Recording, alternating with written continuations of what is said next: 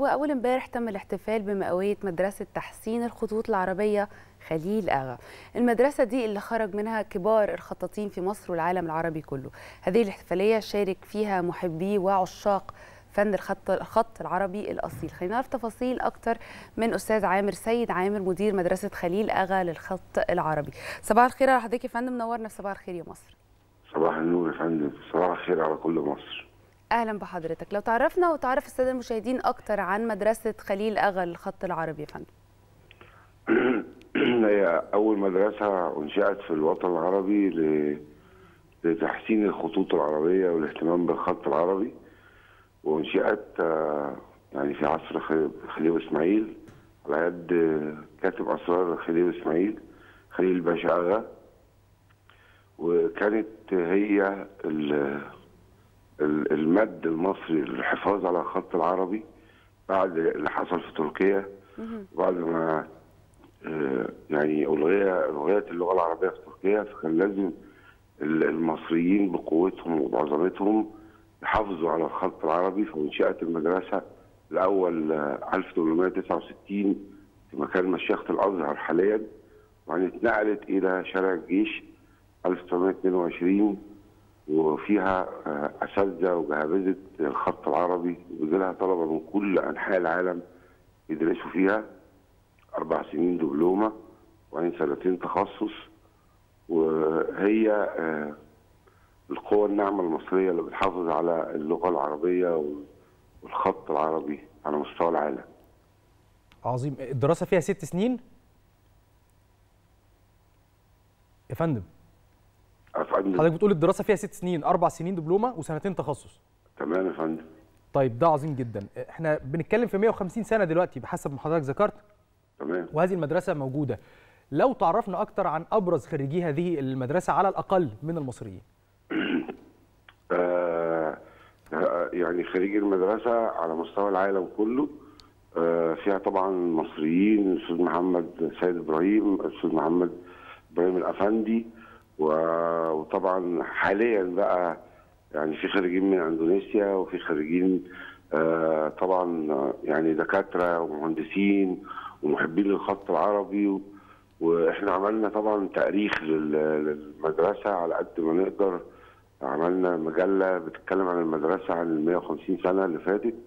وطبعا يعني يكفينا إن إحنا تعبنا جدا عمال ما عملنا معرض عظيم للمدرسة يعني من يومين بالظبط. وطبعا كل العالم كله جه حضروا وزير سابق وزير الصحه سابق حضر وكان تلميذ للخط في الخط العربي المدرسة نائب فتوى الأزهر حضروا عايز أقول إن المدرسة ديت فاضل شوية اهتمام بس من وزارة الآثار لأنها تتبع وزارة الآثار آه كطراز معماري مملوكي. نهتم بيها شوية والمدرسة دي هترجع تتألق تاني إن العالم كله مهتم بيها وبيجي يدرس فيها وفيها طلبة بيجوا من كل أنحاء العالم بس عشان يشتركوا في المدرسة بتاعت الخط العربي.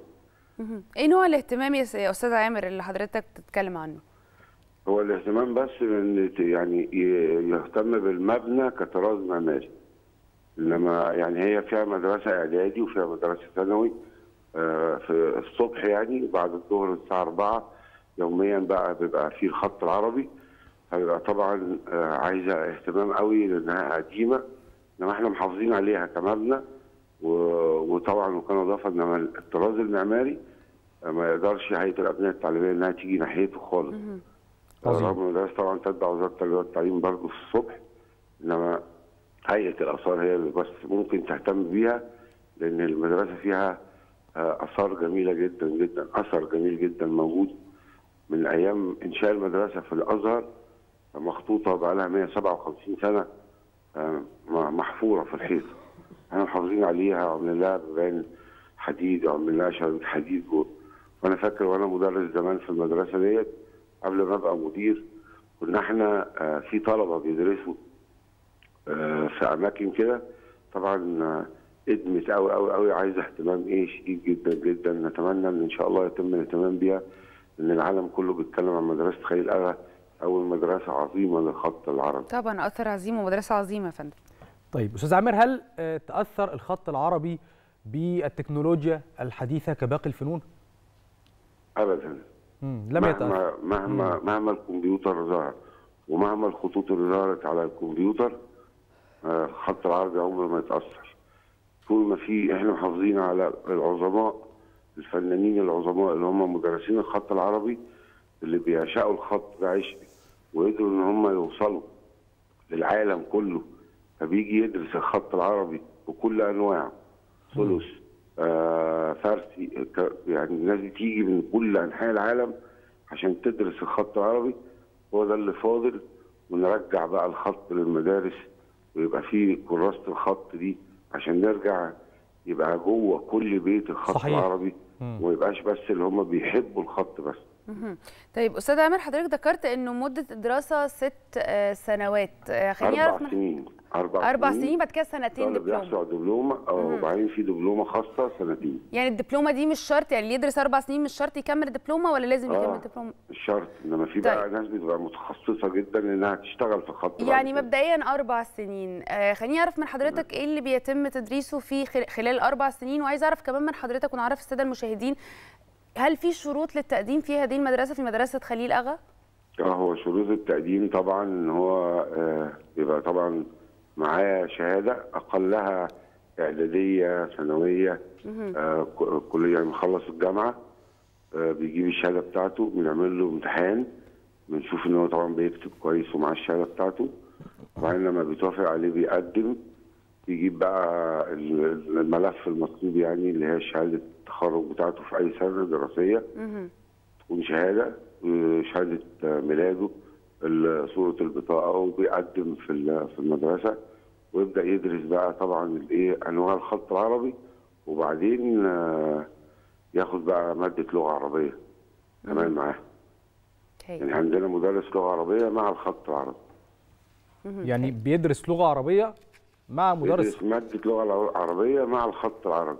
مع مع مواد الخط العربي. مع مواد الخط- والكوفي والنسخ وكده. عظيم. ال- المدرسين بقى اللي موجودين في هذه. المدرسة عايزين نتكلم عنهم. اتفضل. عايزين نتكلم عن المدرسين الموجودين في هذه ال- أنا عندي أنا عندي طبعا مدرسين متخصصين في ال- في الكلام دوت. يعني يرأسهم طبعا المشرف الفني للمدرسة الأستاذ سعد غزال. آه، طبعا بيحط المنهج آه، معاهم مناهج خاصة بيهم طبعا. آه، عندهم عندهم متخصصين لل- للخط ال- الكوفي ودي ليها منهج معين ومجموعة عدد معين من الحصص. آه الثلث بيبقى برضه منهج معين وليه مدرس خاص بيه. كل خط نوع خط ليه مدرس خاص بيه. وطبعا بيشرف عليهم طبعا أستاذ عظيم يعني أستاذ سعد غزال. هم الناس بيحبوا الموضوع ده جدا جدا وبيحافظوا على تراث المدرسة بطريقة صراحة أنا معجب بيهم. هم يعني أنا معجب بيهم وباهتمامهم بال- بالموضوع دوت. عندنا طبعا ناس بتدرس مهندسين ودكاترة وظباط شرطة ظباط جيش كل دول طلبة. هواة. يجوا يدرسوا مخصوص عشان بيحبوا الخط العربي وده كان سؤال ال- ال- التالي لحضرتك يا فندم. يعني هل بيتطلب سن معين؟ هل بيتطلب هل الدراسة بتتطلب تفرغ ولا ممكن تبقى لا آه، لا؟ لا لا تتطلب تفرغ لأن هم بيبقوا على الاقل مخلصين الشهادة الإعدادية. والدراسة موعدها من الساعة 4 للساعه 7 يوميا. يوميا. يعني بقى المدرسة صباحا آه فيها إعدادي وثانوي. أنا برضو مدير الإعدادي والثانوي. وبعدين من الساعة 4 آه من الساعة 4 برضو بيبقى إيه فيها مدرسة الخط العربي يوميا. فمش متفرغ يعني بيبقوا متفرغين بعد الظهر للخط العربي. هواية يعني آه، اكنها أكنها هواية. آه هي مدرسة مجتمعية ومتحافظ عليها بس انشئت أساسا عشان نحافظ على الخط العربي. طيب أيوة. إيه الفرق يا فندم في المناهج ما بين الإعدادي والثانوي؟ لا الإعدادي والثانوي ده تع- تعليم عام الصبح عادي جدا. وليه الشهادة بتاعته.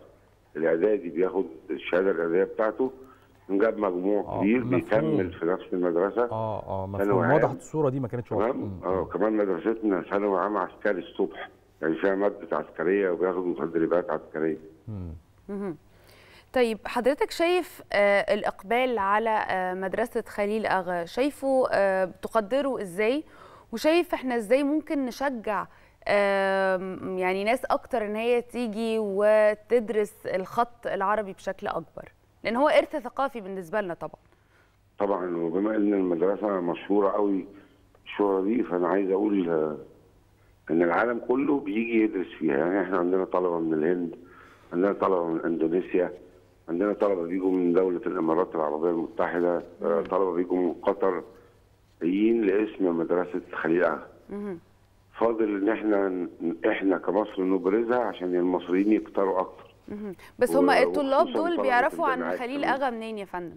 فندم؟ الطلاب اللي من خارج مصر زي ما حضرتك ذكرت عارفين عن مدرسة خليل أغا منين؟ هل مدرسة خليل أغا بت... كتب كتب ومجلات و... وعلى جوجل مشهورة جدا آه يعني لما بيبحثوا على جوجل من خلال جوجل أو من خلال أي اداه أداة بحث بيقدروا يعرفوا عنها. اي أداة بحث بيكتب مدرسة خليل أغا بيجيب له تاريخها وبيجيب له وانشات إمتى وإزاي والطلبة موجودين فيها قد إيه ومن أنهي دولة فكلهم طبعا بيعرفوا بعض وبييجوا يقدموا فيها.